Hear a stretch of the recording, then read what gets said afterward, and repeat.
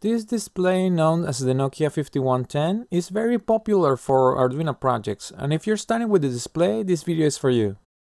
There are a few libraries that you can use for this display, but so far the U8G library worked the best for me, so that's where I'm going to focus. There are advantages about this display like that you can use it on the direct sunlight and has low power consumption, but it's not perfect.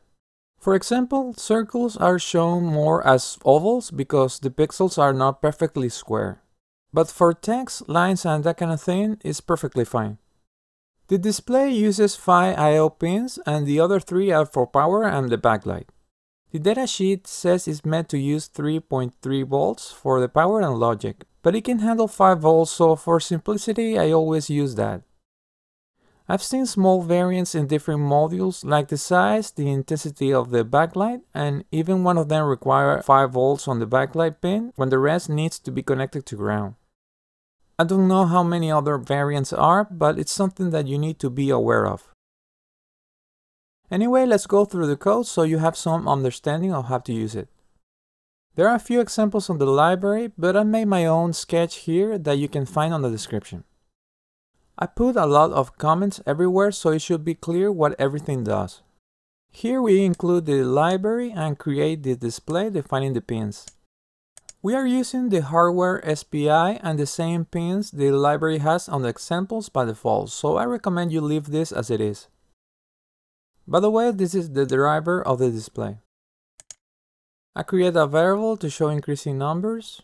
By default, if you show a number, it's going to align to the left, but I usually prefer to align the numbers to the right. But the problem is that most fonts available don't support the right alignment. I try all the fonts on the library and these are the ones that work for that. Here you can rotate the display. We are now in the loop and we increase the variable by 1 until it reaches 300. After that I usually convert the variable into a string, not only to align the numbers to the right, but also because you can add or remove decimals. Here you put the amount of digits and here the amount of decimals. It's going to print the screen all the time in the loop, so you need to put everything you want to show on the display here. I print a text, a square, circle, and so on. And in here we print the variable as it is without modifications, so it's going to align to the left.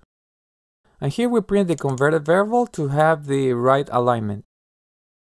And that's it.